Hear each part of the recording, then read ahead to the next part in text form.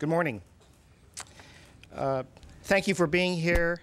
Uh, I'm here this morning with uh, the mayor of South San Francisco, uh, Mayor uh, Pedro Gonzalez. I'm here with Supervisor Scott Wiener, with our treasurer, Jose Cisneros, our city administrator, Naomi Kelly, representatives of uh, Mayor Quan in Oakland, from our SFMTA, John Haley, members of our workforce and economic development teams, uh, and our assessor recorder, uh, Carmen Chu, along with our uh, Department of Human Resources, Micki Callahan. I'm also to my immediate left uh, here is California State uh, Secretary of Labor, uh, Marty Morgenstern.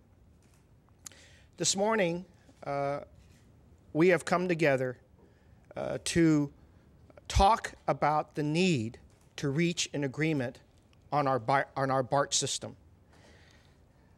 The whole week, and certainly weeks uh, in the past, I have uh, engaged people working in our hotels, in our coffee shops, in our restaurants, small businesses alike.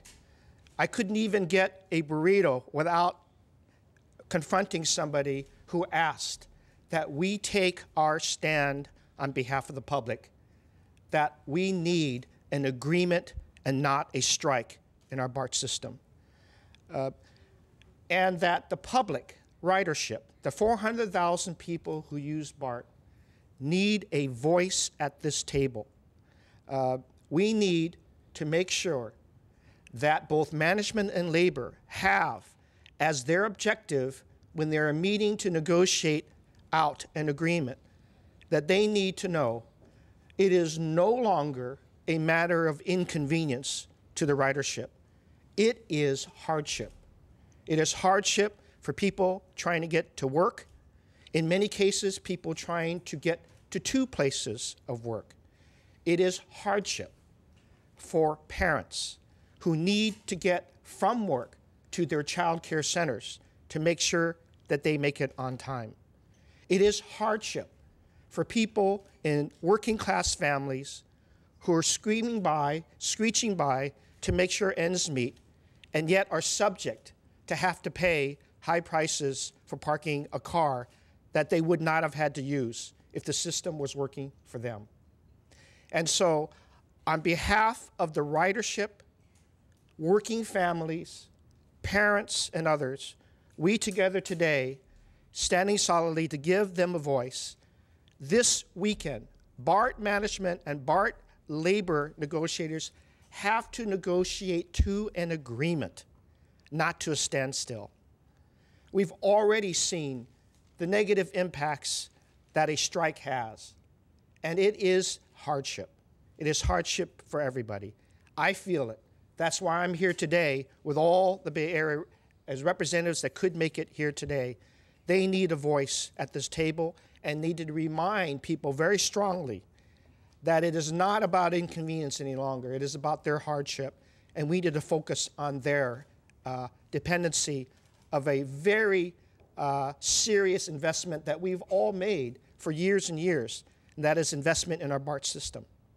And so that is one point that we need to make. And I want to put a face on the ridership for all of us that we care about the working families, the people that are every day struggling with their lives to make sure that they know we are representing them to insist as strong as we can.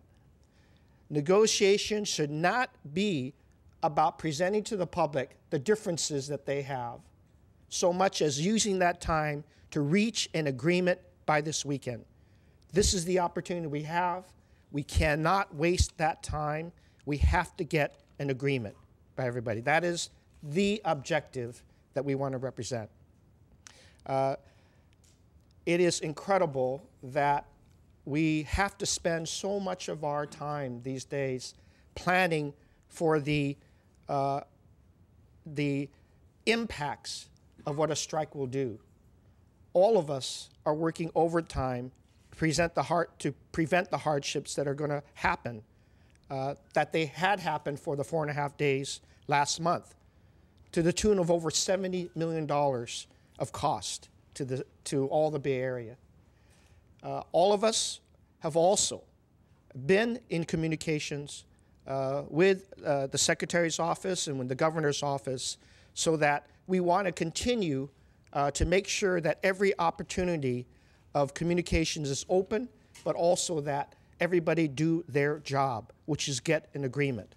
Uh, and I want to then uh, turn this over to present the uh, Secretary of Labor for the state of California, uh, Marty Morgenstern. Marty. Thank you, Mr. Mayor.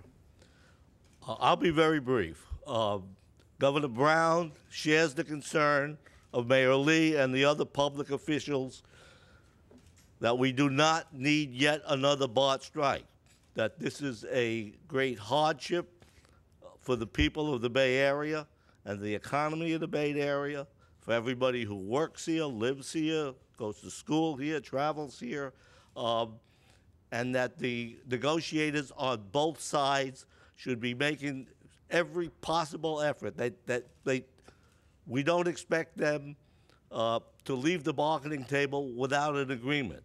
Uh, I asked, and they agreed to a 30-day extension of the uh, contract.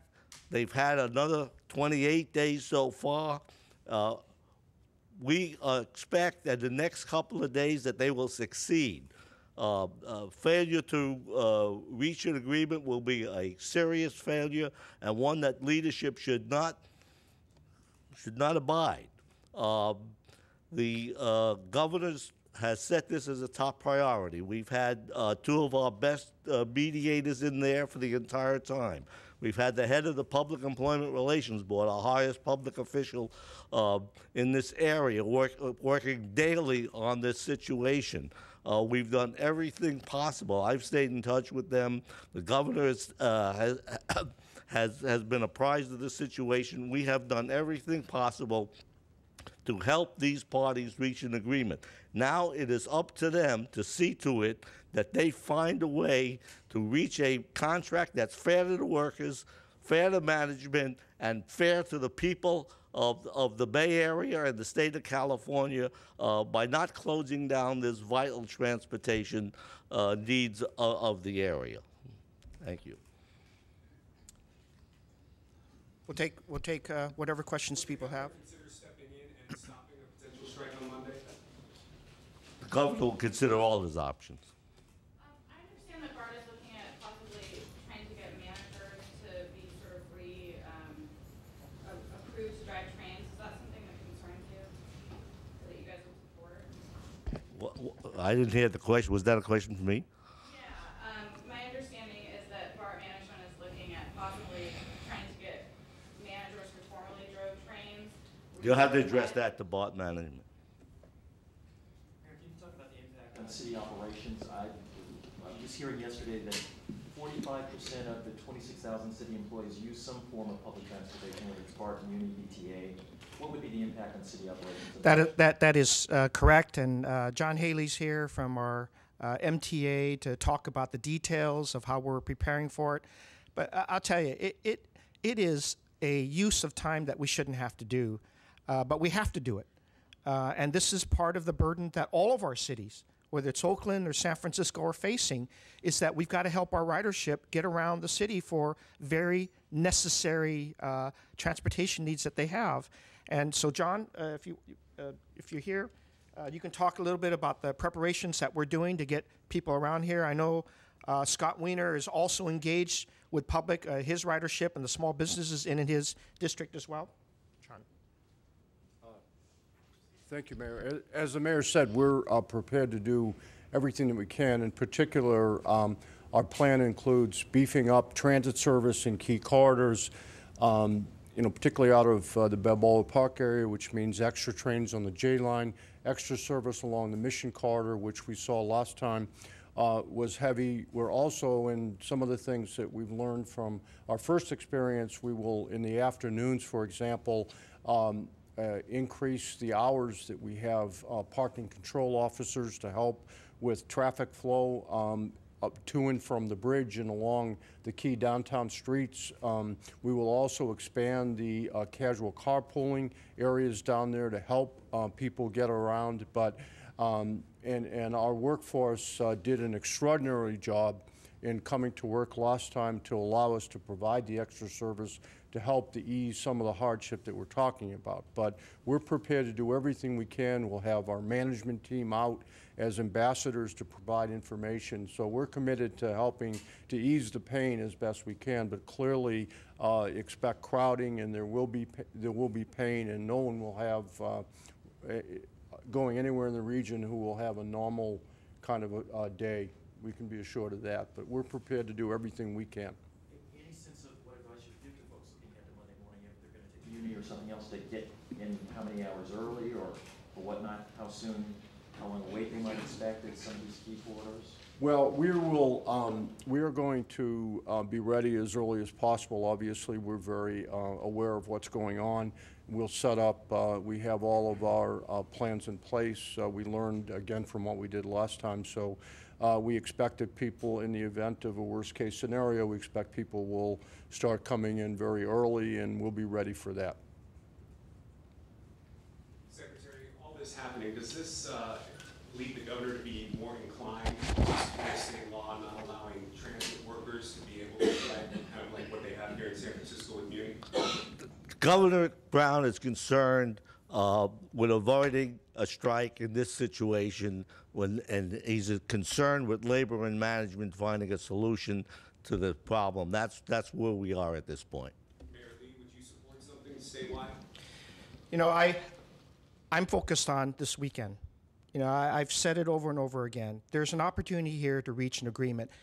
Negotiations should not be prolonged. They should definitely come to a conclusion with an agreement that both sides can live with. That's the goal. Uh, you know, we do have a system here in San Francisco where uh, there's no strike clauses, and it's it's been helpful. Labor peace has always uh, been beneficial, particularly with transit systems.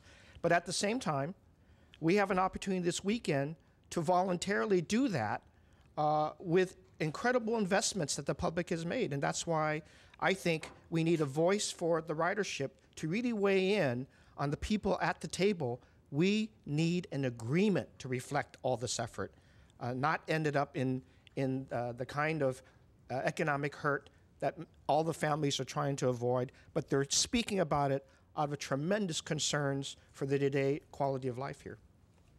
Secretary, do you feel like we're closer to an agreement now than when you started this 30-day cooling off period, or do you think we're further apart? Well, they haven't reached an agreement yet, and that's my concern. Uh, there's been 30 days, there's been mediation, there's been uh, uh, involvement of uh, officials all over the all over the state and, and, and the area, and yet we haven't. And there've been months of negotiations beside this month, and they haven't reached an agreement yet, and that's our concern. Closer isn't good enough. They've got to reach a deal. Give them another 30 days? Excuse me. Could you give them another 30 days or more time? Well, we don't want this to drag on. We want this settled already. I mean, this is, as, as the mayor has already explained, it's, uh, there's a expensive, there's great expense to getting ready for these potential strikes. We don't think the whole pe people of the Bay Area should be kept on pins and needles forever. It's time for this to end. Thank you, everybody. Thank, Thank you. you. Thank you, everybody.